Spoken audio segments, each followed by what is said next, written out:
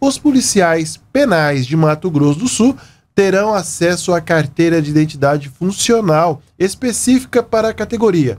Mais informações com Isabela Duarte.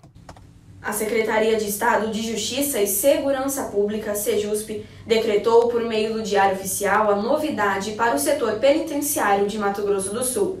A nova carteira funcional terá uma identidade única para os servidores. Serão seis modelos utilizados para identificação dos policiais penais ativos e inativos. O documento, que será assinado pelo diretor-geral da Polícia Penal, segue o padrão das demais forças de segurança do Estado.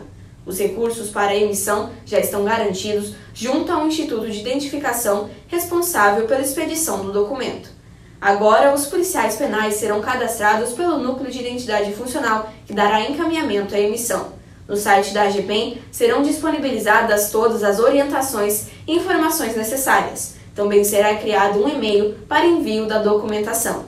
A perspectiva é que na fase 1 sejam realizados os cadastramentos de todos os servidores ativos e aposentados, e a fase 2 seja a parte operacional com a realização da coleta biométrica. No primeiro momento, na fase de biometria, serão atendidos os servidores ativos e inativos de Campo Grande e depois os do interior do estado.